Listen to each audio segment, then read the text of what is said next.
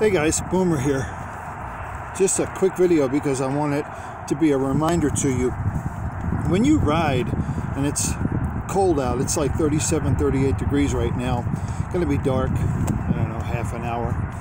But keep your head on a swivel. Uh, use all of the safe riding techniques that you've learned along the way, see and be seen.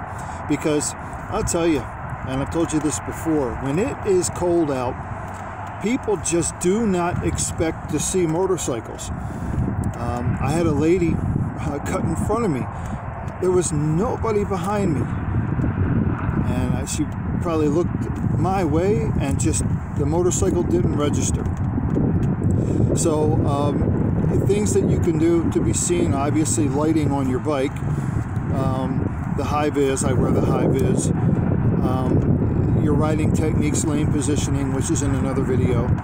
Uh, I think one thing I forgot to mention in the other video is when you're approaching an intersection and there are cars waiting to, to pull out, you can swerve your bike a little back and forth and, and help you to be seen.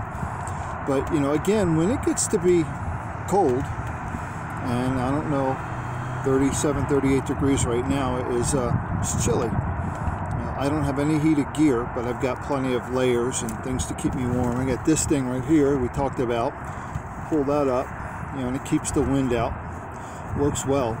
But uh, this quick video here was just to encourage everyone, if you're going to be riding when it's uh, you know, November, December, January, February, and last year the only month I did not ride was February. But if you're going to be out when it's this cold, be safe. Just practice and put into practice what you've learned. Uh, make sure that you see and are seen and expect the unexpected.